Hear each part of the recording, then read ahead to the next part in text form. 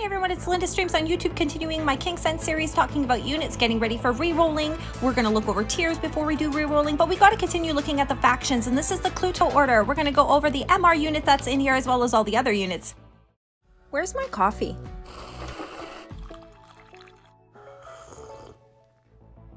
All right, so let's head up to Cluto Order. I found out the name through one of the character descriptions. It said that they were a part of the, the Cluto Order. Uh, so the first unit is Aiko. Aiko is a heavy unit in the fire element. She's a UR. She's a decent tank, I've heard. We have Sane. She's a healer.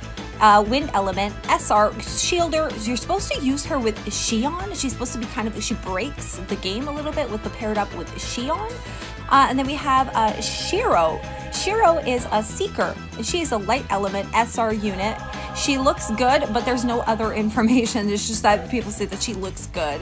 Uh, Lo, Lohaja, Loha, uh, she's only 15, just so you know. Uh, she is the MR that we're going to re-roll for. She is a Volt element and an Ace.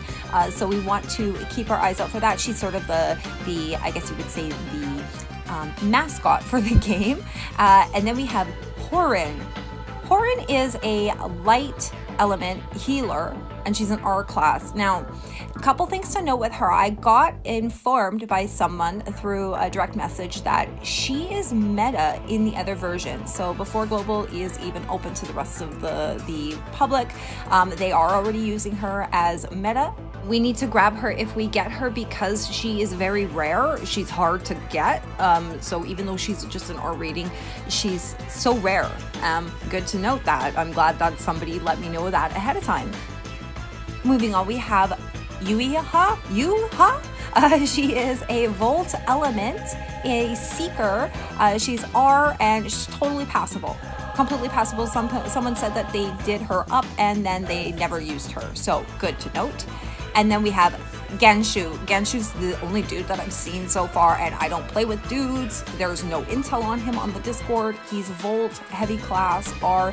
Now, we already know that there's a better tank in this uh, faction, uh, Aiko at the beginning there. So for tanks, um, other than maybe if you wanted to use him because he's got the Volt element, I'm gonna say we have other people that we can focus our energy on. Also, I don't play with dudes. If you like to play with dudes though, hey, we got Ganshu in this game for you.